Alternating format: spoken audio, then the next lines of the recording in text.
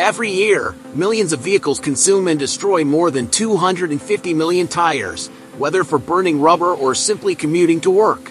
Vehicles wouldn't get very far without their tires. But surprisingly, they can't be made without this material. A white, sticky liquid that turns into millions of tires every year. But have you ever wondered how tires are made? We visited one of the largest natural rubber producers in the world to find out.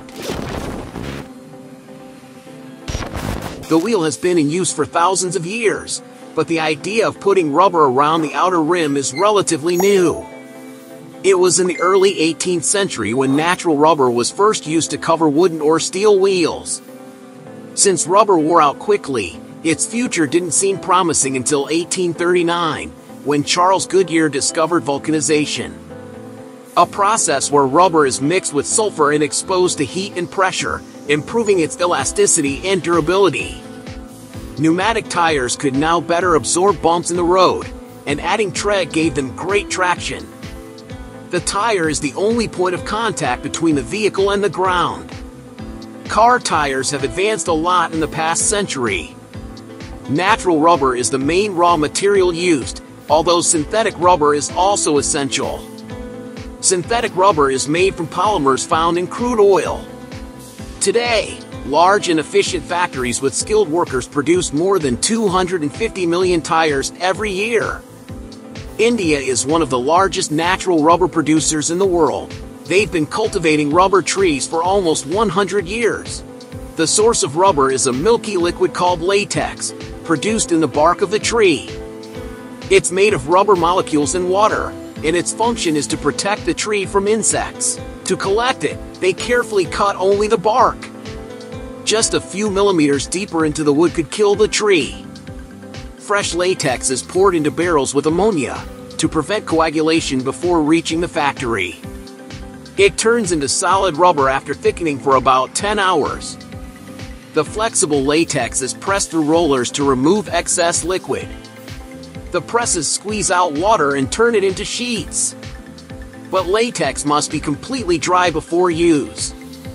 So the sheets are smoked over firewood for three days, after which they can truly be called rubber. The methods they use haven't changed in 100 years. The natural rubber is then transported to the tire factory. This plant has been making car tires since 1972.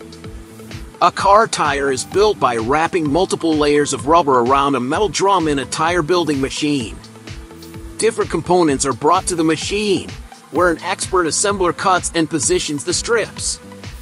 Natural rubber alone is too elastic and flexible for tires. It must be hardened. Rubber is mixed with other components to give it the strength needed. A modern tire contains 10 to 15 different materials, natural and synthetic rubber, chemical additives, steel, sulfur, zinc oxide, textile fibers, and a black carbon pigment. These are blended under heat and high pressure in giant mixers. The mixture makes the rubber tougher and more wear resistant. Each part of the tire requires a specific formula.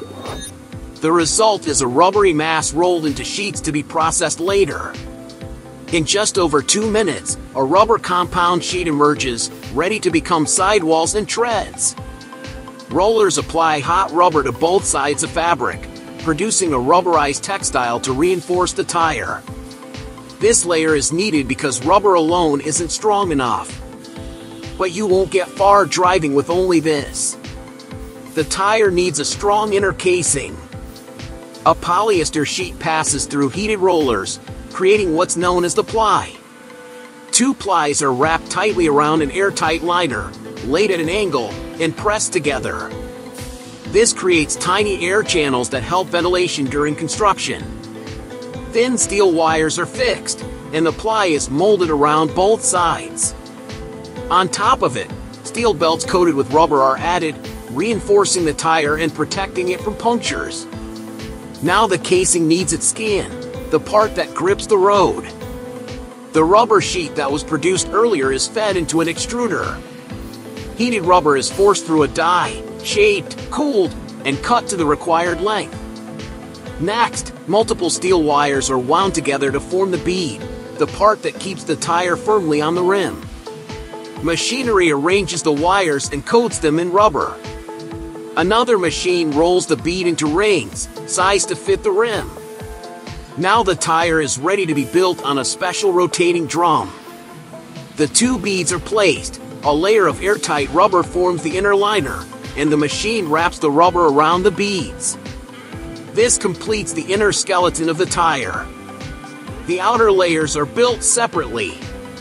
Steel reinforced rubber strips are placed first, followed by narrow strips of rubber, carefully tensioned by a computerized system for a graded effect. Finally, the tread rubber is applied. Compressed air inflates the tire to shape it, and all the layers bond together. Making tread rubber requires three different rubber formulations. Extruders shape them into three flows that merge into one in a die.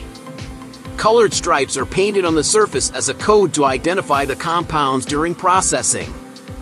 The tread rubber is rolled onto the sidewalls.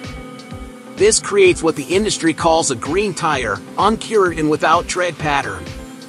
The tire is placed inside a mold, which closes like a giant sandwich press. The process is called vulcanization, named after Vulcan, the Roman god of fire. Inside, at 180 degrees Celsius, heat and pressure mold the rubber and imprint the tread pattern. The time inside the hot press triggers vulcanization, a chemical reaction that transforms rubber from weak and sticky to strong and elastic. Excess rubber is trimmed, a blade cuts the tread to size, and after final inspections confirm the tire shape and geometry, it rolls off the production line. From trees to tough wheels, these rubber tires are now ready to hit the road. Like this video if you enjoyed it, share it with someone who might find it interesting, and subscribe to this channel with notifications on to keep learning.